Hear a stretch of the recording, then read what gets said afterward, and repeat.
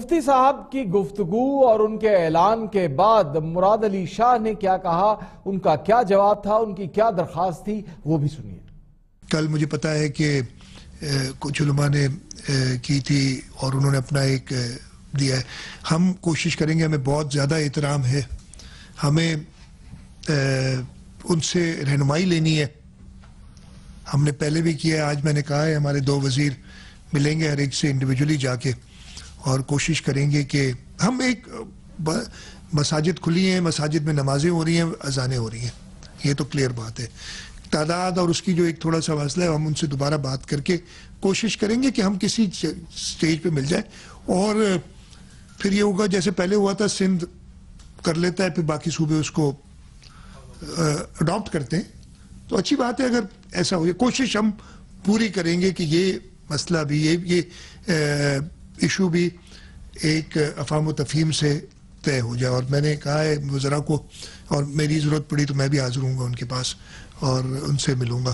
مراد علی شاہ کو گزشتہ روز supreme court نے یہ کہا کہ ان کی حکومت کی کارکردگی انتہائی افسوسناک ہے۔ اس ریمارکس کے بارے میں ان آبزرویشنز کے حوالے سے مراد علی شاہ کا جواب کیا تھا آپ کے سامنے؟ کل پرسوں سے ایک طوفان بدتمیزی چلا ہوا ہے، میں اس کو تھوڑا سا کلیریفائی کر دوں۔ مزید تو ہم سپریم کورٹ میں اپنا جواب داخل کرائیں گے۔ اور مجھے یہ ضرور ہے کہ ہم چیف جسٹس صاحب کو اپنا پوائنٹ آف ویو صحیح طریقے سے سمجھا نہیں سکے۔ اس پہ مجھے ضرور پشمانی ہے۔ لیکن ہم ان رائٹنگ ان شاء اللہ تعالیٰ چیف جسٹس صاحب کو مجھے پوری امیدیں کنونس کریں گے۔ اس لیے کہ نیک نیتی سے کام کر رہے ہیں۔ میں نے پہلے دن کہا تھا، غلطیاں ہوں گی، غلطیاں ہو رہی ہیں۔ لیکن کچھ نہیں کرنا سب سے بڑی غلطی ہے۔ اور مجھے پوری امید ہے کہ اگر کوئی چھوٹی موٹی غلطی ہو گئی ہوگی تو اس کو درگزر کیا جائے گا۔ اس پورے پس منظر میں، اس بات کے سپریم کورٹ نے گزشتہ روز اپنے تحریری حکم کے اندر یہ بھی کہا تھا کہ کراچی کے اندر گیارہ یونین کونسل کو سیل کر دیا گیا۔ سندھ کے اندر حالات بہت زیادہ خراب ہے عوام انتظامیہ سے تنگ ہے سراپا احتجاج ہے سندھ کے عوام کو۔ ضروری اشیاء خریدنے کے لیے کوئی سہولت نہیں دی جا رہی۔ اس ساری صورتحال کے اوپر مراد علی شاہ کا کیا کہنا تھا؟ سن لیجیے۔ ڈسٹرکٹ ایسٹ میں ہمارے پاس ٹوٹل جو اکتیس یا ستائیس یو سیز تھیں، اس میں گیارہ یو سیز میں کچھ زیادہ کیسز آئے۔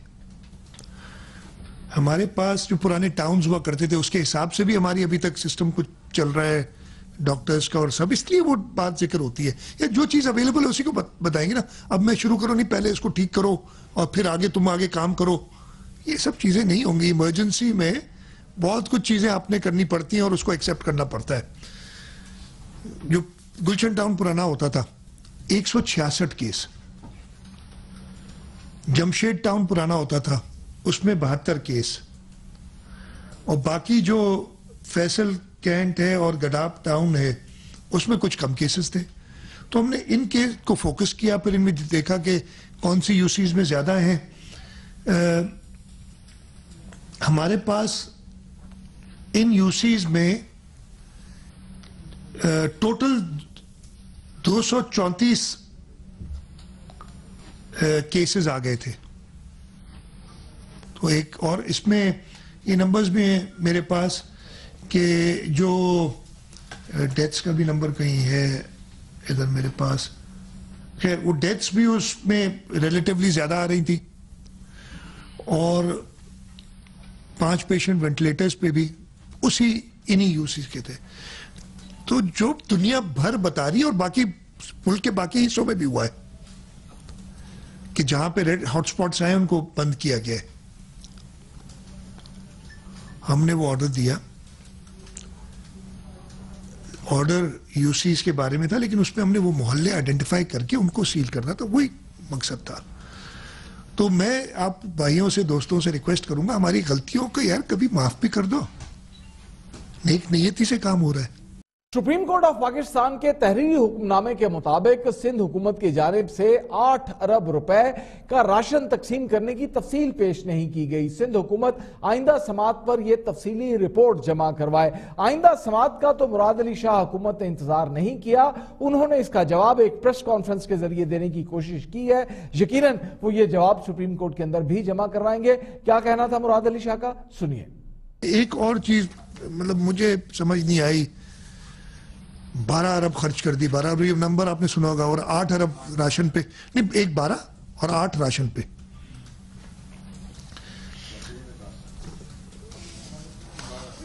ٹھیک ہے جی بارہ ارب بھی، بارہ ارب کا نمبر بھی میں نے کئی بار سنا ہے۔ ٹھیک ہے ٹھیک ہے جی۔ آٹھ کا بھی بتاتا ہوں، بارہ کا بھی بتاتا ہوں نا۔ بارہ کیا ہے؟ یہ کہیں سے کاغذ آتا آ گیا۔ یہ ہم دیتے نہیں، ہمارے اپنے سرکار کا کاغذ ہے۔ جس کو اگر ٹوٹل کریں تو اینڈ میں بارہ ارب آ جاتا ہے۔ بارہ ارب خرچ کر دیے۔ وہ کیا کیا میرے بھائی؟ سمجھ لو، اس لیے کہ میں نے کہا نا، تجربہ نہیں ہے۔ میں نے اس دن بھی کہا تھا، اور یہ کل کسی اور نے میں نام نہیں لوں گا۔ ایک فیڈرل گورنمنٹ کے معتبر شخص نے کہا، یار، بول صرف وہ رہے جو ڈسیشن میکنگ میں نہیں ہے ابھی۔ جن کو پتہ نہیں ہے کہ کیا ہو رہا ہے۔ اچھا ہمارا کیا مسئلہ ہے کہ ہمیں جواب دینا پڑ رہا ہے۔ نہیں تو آپ لوگ سمجھتے ہیں کہ شاید واقعی یہ بڑا مسئلہ ہے۔ یہ بارہ ارب میں ہم نے تین ارب روپے جو دیے ہیں کرونا ایمرجنسی فنڈ میں، جس میں سے میں نے بتایا تھا، ابھی بھی نمبر شاید اگر ہوں تو آپ کو بتا دوں گا۔ نکال لیجیے گا مرتضی ذرا، کہ خرچہ ابھی تک کتنا ہوا ہے۔ وہ تین ارب روپے ریلیز کیے ہیں for that corona emergency fund. بارہ ارب میں ایک وہ ہو گئے تین ارب ٹھیک ہے جی۔ جو ہم نے سوشل ریلیف فنڈ سے بھی ریلیز کیا پیسہ، اور یہ مینج کون کر رہا ہے؟ پانچ رکنی کمیٹی، تین پرائیویٹ سیکٹر کے، دو سرکاری ملازمین۔ اڑتیس ملین تین کروڑ اسی لاکھ خرچ ہوئے ابھی تک اس میں سے۔ اور ابھی آرڈرز دیے ہوئے جو ڈلیوری ہوگی تو پیمنٹ ہوگی ان کی۔ اگین مینج پرائیویٹ سیکٹر کر رہا ہے۔ مطلب سرکار اور پرائیویٹ سیکٹر مل کے کر رہا ہے۔ ہر چیک پہ سگنیچرز مشتاق چھاپرا صاحب کے اور فائنینس سیکرٹری کے ہوں گے۔ ادروائز پیسے ریلیز نہیں ہوں گے۔ اور ہر پرچیز کی اپروول وہ پانچ رکنی کمیٹی دے گی، جس میں تین پرائیویٹ سیکٹر کے مشتاق چھاپرا صاحب، ڈاکٹر باری صاحب اور فیصل عیدی صاحب ہیں۔ تین کروڑ اٹھاسی لاکھ خرچ ہوئے، تین ارب تو بارہ میں سے وہ ہو گئے۔ باقی ہم نے اٹھائیس ملین جو آئسولیشن سینٹر ایکسپو کا ہے، اس پہ سندھ حکومت نے الگ سے خرچ کیے۔ اور اگین وہ ہم نے ملٹری سے بنوایا اس کے علاوہ جو ہم نے تین سو ملین انڈس ہاسپٹل کو شروع میں دیے تھے، وہ بالکل لکھ دیے۔ ہم نے پورے سندھ میں جو ایڈیشنل خرچہ کیا ہے، جو بجٹڈ نہیں تھا پہلے، وہ ڈائریکٹر ہیلتھ سروسز کو دس کروڑ روپے دیے۔ پورے سندھ کے لیے یہ ایک ایمرجنسی ہے۔ سمجھے کہ آؤٹ باقی سارا خرچہ جو ہے نا وہ ہم نے بجٹس میں دیا ہے۔ دوائیوں کے لیے پیسے۔ وہ تو ویسے ہی دیتے ہیں نا۔ صرف کیا کیا ہے کہ جو ریلیز وہ نمبر آیا نا۔ کسی نے ہم نے کہا یار کیا تم نے ابھی تک خرچہ کیا ہے۔ تو فائنینس ڈپارٹمنٹ نے یہ پوری لسٹ بنائی اور کئی پریزنٹ کی۔ ہاتھ آ گئی۔ اور اٹھا کے لہرانے لگے، بارہ ارب کھا گئے۔ ایک ایک چیز کی ڈیٹیل اس میں ہے۔ ڈی سی سکھر کے لیے ہم نے تین کروڑ روپے دیے۔ کیوں دیے؟ کیا آپ کو پتہ نہیں ہے کہ سکھر میں کیا تھا؟ ایشو۔ مفت میں تو کام نہیں ہوتا۔ یہ آپ دیکھیں گے، تو ملیر ڈی سی کو پیسے دیے۔ کیوں دیے؟ آپ کو پتہ ہے، ملیر میں ہمارے پاس جو لیبر کالونی، اس کو کمپلیٹ کرایا۔ اس میں جو چیزیں تھی مفت میں تو نہیں ہوتا۔ مطلب پرچہ ہاتھ میں آ گیا اور اس کو، اس میں دوسرا بڑا اماؤنٹ چھ جو بڑے اماؤنٹ ہے six point nine billion release of third and fourth quarter of health department بھائی، کیا کون سا گناہ کیا کہ جلدی ریلیز کر دی؟ یہ بجٹڈ اماؤنٹ ہے۔ اگر جلدی ریلیز کر دی، ضرورت تھی نا۔ ایمرجنسی تھی۔ تو ہم نے ایک ایک کوارٹر نہیں تو ریلیز کرتے نا، ایک وقت میں ہم نے تیسرا، چوتھا کوارٹر ایک ساتھ ریلیز کر دیا۔ کہ ان کو ضرورت پڑے گی، شاید اور پیسوں کی، شاید کیا یقیناً اور پیسوں کی ضرورت پڑے گی۔ اس لیے تو باقی خرچے ہم نے کم کر دیے۔ بس یہ بارہ ارب کا لے کے گئے اب آ جائے آٹھ ارب پہ۔ آٹھ ارب کہاں سے آیا؟ نمبر۔ یہ کسی کو نہیں پتا، ان کو بھی نہیں پتا۔ اگر کوئی بتا دے یہاں تو بتا دے نا کہ جی پہلی بار فلانے بندے نے آٹھ ارب کہا، تو پھر اسے کہیں پوچھے، یار کہاں سے آیا؟ آپ پوچھ لیں ان سے، جو بھی کہہ رہا ہے یہ آٹھ ارب کی بات۔ یہ نمبر آیا کہاں سے؟ ہمیں نہیں پتا، ادھر بیٹھے بھائی، ادھر چھ لوگ بیٹھے ہیں، انتظامیہ کے لوگ بھی بیٹھے ہیں۔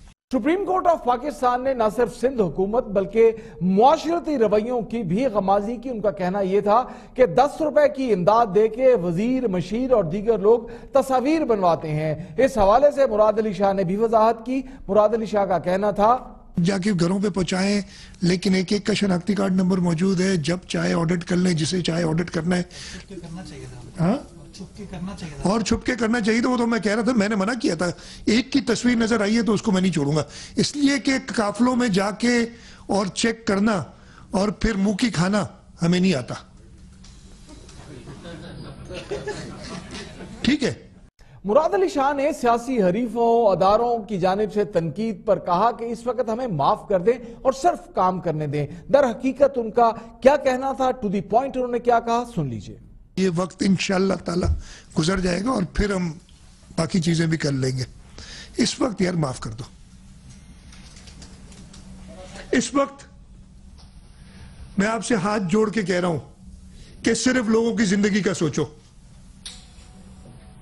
اس پریس کانفرنس کے بعد فردوس عاشق اوان جو کہ مشیر ہیں، وفاقی اطلاعات کی، انہوں نے بھی بھرپور پریس کانفرنس کی۔ ان کا کہنا یہ تھا کہ سندھ کے بھوکے ننگے عوام پر وزیر اعلیٰ سندھ اور حکومت ترس کھائے۔ کیا کہنا تھا فردوس عاشق اوان کا؟ سن لیجیے تو مراد شاہ صاحب، یہ آپ کا اختیار ہے۔ آپ کی سواب دید ہے۔ آپ اپنے صوبے میں لاک ڈاؤن کریں۔ آپ وہاں عوام کو گھروں سے باہر نہ نکلنے دیں، وہاں کرفیو لگائیں، فیکٹریاں بند کر دیں، ٹرانسپورٹ نہ چلنے دیں، یہ سب آپ کے اختیارات ہیں۔ لیکن اختیار کے ساتھ آپ کی کچھ ذمہ داریاں بھی ہیں۔